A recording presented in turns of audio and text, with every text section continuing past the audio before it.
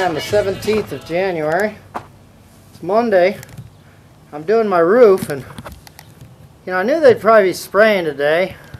Kind of needed their assistance because I it has to be over 65 degrees and it was about 70 degrees. So I knew that well, with the chemtrails I'd be looking at more like 85. It feels like about 90 right now. But I wanted to show you this. Look at this. Even though it's this covered, they're still inside here going at it, spraying us as we speak. Fresh one just went by.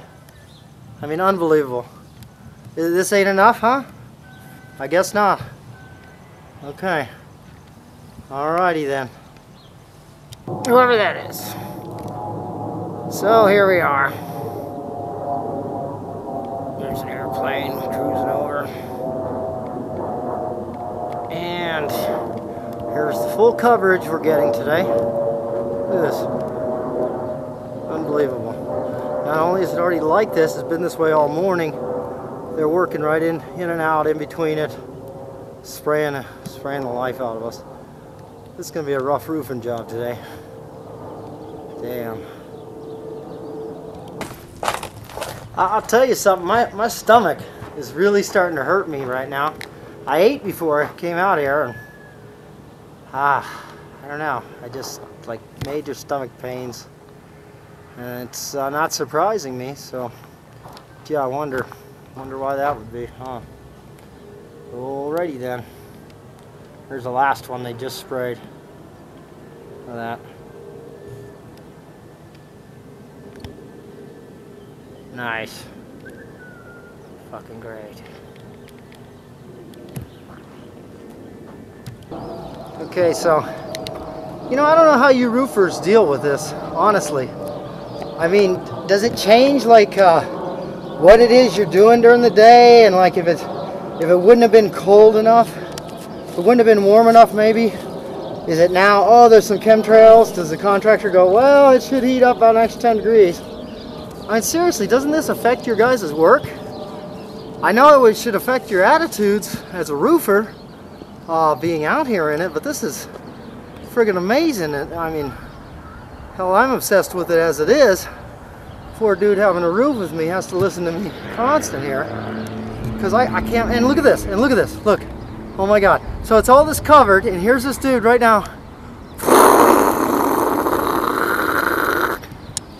What, what, why do they have to have it that covered? I mean, God. Is this contract for me specially or something? So tell me, roofers, uh, you're not concerned about this or what? Seriously. No, seriously. You, I, I think I'm going to start uh, talking to some different people here. People that work outside. And we already got, you know, landscapers, you got hikers, you got, but I'm thinking roofers, balloonists. You people are getting killed really fast. And you're watching it you better stand up and speak about it now while you can because I'm not so sure you got a whole long time to be speaking about it. Gee, you know any other roofers that are getting sick? Nah, uh-uh, no John, we got our roofers life expectancy's already up to 43. Why, is that, is that not normal? Yeah. yeah. Is it the chemicals they use in the roofing material and the, the clear coat? No, I, I'm thinking might be something else killing you motherfuckers. Just maybe. You think? Chris Haskell, Real News Tucson. Overachievers is right because check this out. It's totally overcast and here's here's another guy working it. Look at this. Can you see him? Way back there. There he is just working it.